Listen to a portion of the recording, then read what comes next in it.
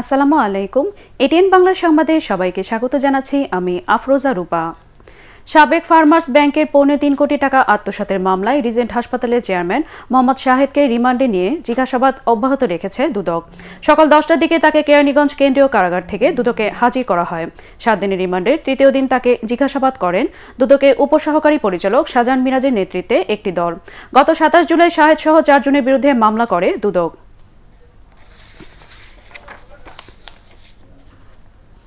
এদিকে রিজেন্ট গ্রুপের চেয়ারম্যান শাহিদ করিমের বিরুদ্ধে রাজধানীর উত্তরা পশ্চিম থানায় অস্ত্র আইনে করা মামলার চার্জশিট গ্রহণ করেছেন আদালত। ঢাকা মহানগর দায়রা জজ কে এম ইমরুল কায়েস মামলার চার্জশিট গ্রহণ করেন। একই সঙ্গে মামলার চার্জ গ্রহণের জন্য সাতাশ আগস্ট দিন ধার্য করেন।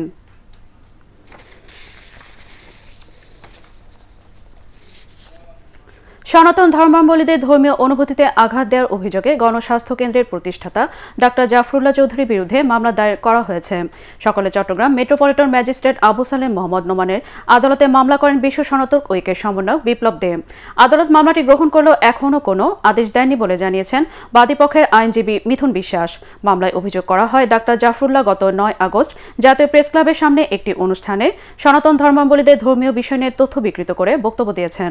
রামায়ণ ও মহাভারত নিয়ে কটূক্তি করে তিনি ধর্মীয় অনুভূতিতে আঘাত হেনেছেন। করোনা ও উপসর্গ নিয়ে দেশের বিভিন্ন অঞ্চলে এ পর্যন্ত আরও সতেরো জনের মৃত্যুর খবর পাওয়া গেছে। এর মধ্যে কুমিল্লায় করোনায় একজন এবং উপসর্গে চারজন মারা গেছেন। খুলনায় করোনা উপসর্গে দুইজন মারা গেছেন। সিলেটে করোনায় মারা গেছেন দুজন। কুষ্টিয়ায় চিকিৎসাধীন অবস্থায় মারা গেছেন দুজন। নতুন শনাক্ত হয়েছেন ষাট জন। বরিশাল বিভাগে করোনা পজিটিভ হয়ে আরও দুজনের মৃত্যু হয়েছে বলে জানিয়েছে বরিশাল বিভাগীয় স্বাস্থ্য অফিস। এই অঞ্চলে নতুন শনাক্ত হয়েছেন উনপঞ্চাশ জন। নোয়াখালীতে করোনায় আক্রান্ত হয়ে মারা গেছেন সত্তর বছর বয়সী এক বৃদ্ধ। জেলায় নতুন শনাক্ত হয়েছেন আরও উনপঞ্চাশ জন। এছাড়া সিরাজগঞ্জ, বগুড়া, ঠাকুরগাঁয় একজন করে করোনায় মারা গেছেন।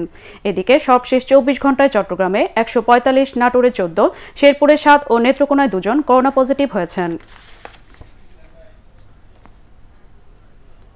পররাষ্ট্র সচিব মাসুদ বিন মোমেনের সঙ্গে বৈঠক করছেন ভারতের পররাষ্ট্র সচিব হর্ষবর্ধন সিংলা। রাজধানী হোটেল সোনারগাঁওয়ে বেলা একটার দিকে শুরু হয় এই বৈঠক। একদিনে এই সংক্ষিপ্ত সফরে গতকাল প্রধানমন্ত্রী শেখ হাসিনার সাথে সাক্ষাৎ করেন সিংলা। করোনা মহামারীকালে ভারতের পররাষ্ট্র সচিবের এই সফরের বিষয় দুদেশের পক্ষ থেকে আনুষ্ঠানিকভাবে কিছু জানানো হয়নি। তবে পররাষ্ট্র মন্ত্রণালয়ের একটি সূত্র বলছে, ভারতের আগ্রহের কারণে হর্ষবর্ধন সিংলার এই আকস্মিক সফর।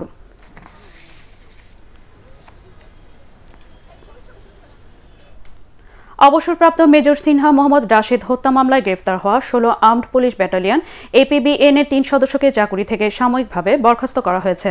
ব্যাটালিয়নের কমান্ডিং অফিসার মোহাম্মদ হেমায়তুল ইসলাম বিষয়টি নিশ্চিত করেছেন। তিনি জানান, সরকারি চাকুরি বিধি অনুযায়ী মঙ্গলবার সকালে ইউনিট প্রধান হিসাবে আটক তিনজন এপিবিএন সদস্যকে বরখাস্ত করে সংশ্লিষ্ট উদ্ধতন কর্তৃপক্ষকে জানিয়েছেন। বরখাস্তকর্তারা হলেন সাবেক ইন্সপেক্টর শাহজাহান কনস্টেবল মোহাম্মদ রাজীব ও মোহাম্মদ আবদুল্লাহ। একত্রিশ জুলাই রাতে টেকনাফের বাহারছড়া এপিবিএন চেকপোস্টে সিনহাকে হত্যার সময় ঘটনাস্থলে দায়িত্ব পালন করছিলেন তারা। গত চার দিনে বৃষ্টিতে আবারও বেড়েছে নেত্রকোনার নদ নদীর পানি। জেলার চোদ্দটি ইউনিয়নের আড়াই লাখ মানুষ পানিবন্দী অবস্থায় রয়েছে। সরকারি ত্রাণ সহায়তা পৌঁছলেও তা প্রয়োজনের তুলনায় একেবারে কম বলে জানিয়েছেন দুর্গত মানুষ। সিরাজগঞ্জে বেড়েই চলেছে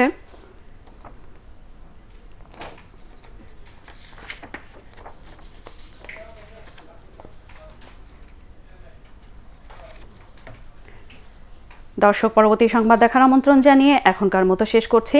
করোনা ভাইরাস থেকে নিজেকে সুরক্ষিত রাখতে মাস্ক পরুন, বারবার হাত পরিষ্কার করুন। এটিএন বাংলা সংবাদ ইউটিউবে দেখতে ব্রাউজ করুন YouTube slash ATN Bangla news ধন্যবাদ সবাইকে।